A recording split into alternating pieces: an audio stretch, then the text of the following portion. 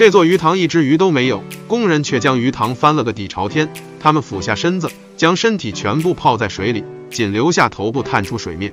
随着几名工人的不断向前推进，水中的怪兽终于浮出水面。工人将它们捞起，就放在了随身携带的网兜里。本以为捞到的甲鱼能卖个好价钱，谁料这些甲鱼个头都很小，只能个位数卖掉。养殖场老板更是急得头发晕。不过养殖甲鱼对于普通人来说却很简单，给点水就能活的那种。甲鱼的繁殖季节，两只不同性别的甲鱼就会发生暧昧关系。大型的养殖场不会让它们自由恋爱，为了防止近亲交配，养殖场会从外地进口新鲜公甲鱼。交配后的母甲鱼两周内就能产卵，在养殖场内，工人会搭建专门的产蛋间，给这些鱼进行产卵。还没等甲鱼蛋孵化，工人就要收走它们，但不是把它们吃掉。工人会准备一些泥土，将这些蛋盖起来。这些泥土绵软细腻，相比池塘边的泥土，保温效果会更好。经过二十到三十多天的孵化，小甲鱼就会破壳而出。令人头疼的问题也就出现了。大型养殖场习惯一次性孵化超过一百万枚卵，而孵化后的蛋则会集中在一到两天内全部破壳而出。习惯找水源的小甲鱼爬得到处都是，一不小心工人就会将它们踩死。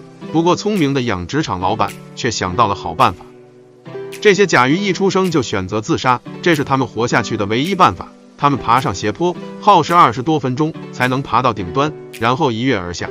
幸好斜坡的另一面是一盆水，跳下去的小甲鱼基本安然无恙。但仔细观察就会发现，虽然坡度不陡，某些小甲鱼就永远停留在了斜坡上。能爬上坡的甲鱼活力都是相当好的，就这一盆的优质甲鱼，光卖苗就能卖上个一万多。体力不支的甲鱼并不意味着会死掉，工人会将它们分吃饲养，卖个正常价。随着养殖精力的不断投入，却出现了大量死甲鱼，养殖场里的活甲鱼个头也逐渐参差不齐。不过，经过养殖场老板日夜不停的蹲守，就能发现不对劲的地方。甲鱼属肉食动物，非常凶猛，也喜欢同类相残。作为水中的平头哥，它们无时无刻都在想着打架，抢夺食物在打，谈恋爱时候在打，上厕所时候还在打。养殖场为了避免这种情况，就会将不同大小的甲鱼分开来饲养。为了确保甲鱼的个头一致，养殖场会在水中垫上稍高的瓦片。在投喂甲鱼时，工人就会将瓦片周围的灯打开。甲鱼也是趋光性的动物，到了饭点就会聚来吃饭了。等甲鱼转移至户外后，工人给它们投喂的食物一般都是一些便宜的罗非鱼、福寿螺或者一些蚯蚓。不过，养殖场认为这些食物价格还是太高了，市面上最便宜的猪肝才是最好的选择。甲鱼平时也非常爱吃。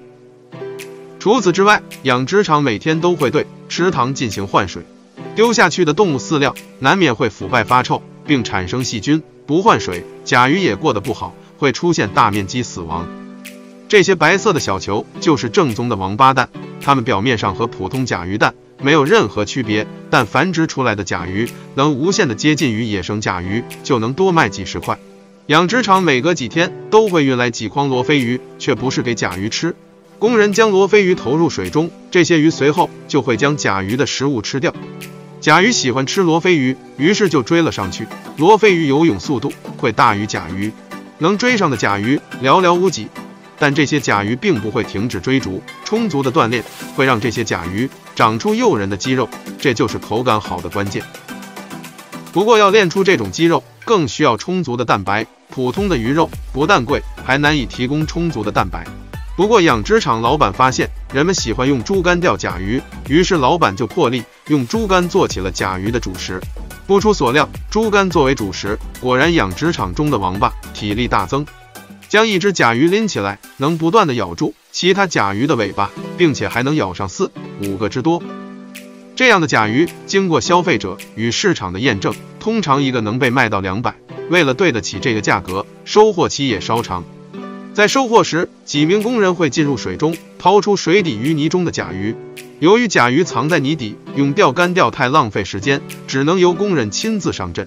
在捕捞时，工人需要排成一排，将水下的甲鱼排查干净。新上手的工人一般会被甲鱼咬到，但老工人手法就会十分的娴熟了。采收到的甲鱼随后就会被工人送到批发市场进行销售。